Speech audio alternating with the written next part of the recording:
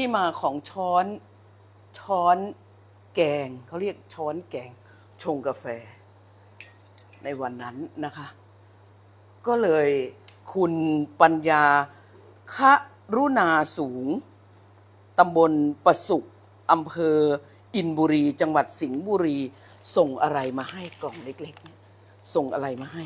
มาดูกันค่ะ ว่าส่งอะไรมาให้นะคะ เขียนจดหมายมาด้วย บอกว่าเห็น ชอบทุกคลิปเลย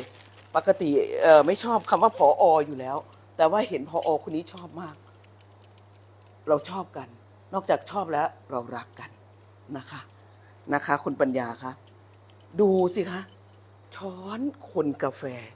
นี่เขาบอกว่าช้อนกาแฟเป็นงาน handmade ทำเองครับ SUS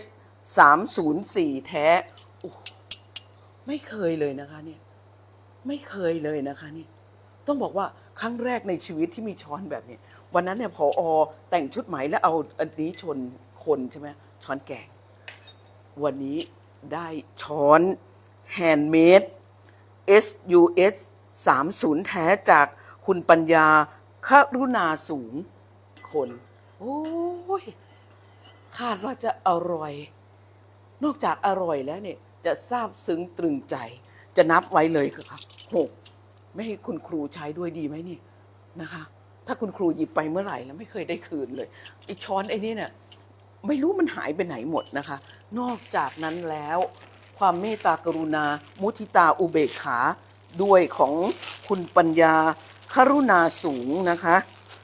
ตำบลประสุกอำเภออินบุรี จังหวัดสิงห์บุรี คนเมืองสิงห์อันนี้วางลง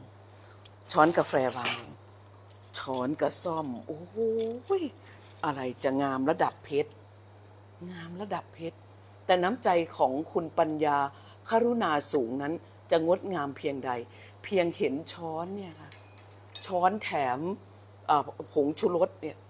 ก็ทนไม่ได้แล้ว นั่นคือรักกันจริง ความรักครั้งนี้จะมอบให้คนทั้งโลก งดงามขนาดไหนดูสิคะนี่นี่เนี่ยนะคะ เวลาเอามาคนแขกบ้านแขกเมืองมา ก็จะหยิบแล้วก็ยกสูงสูงอวดสักหน่อย อวดชาวโลกสักหน่อย ขอบคุณเป็นหมื่นๆครั้งค่ะ ขอบคุณค่ะ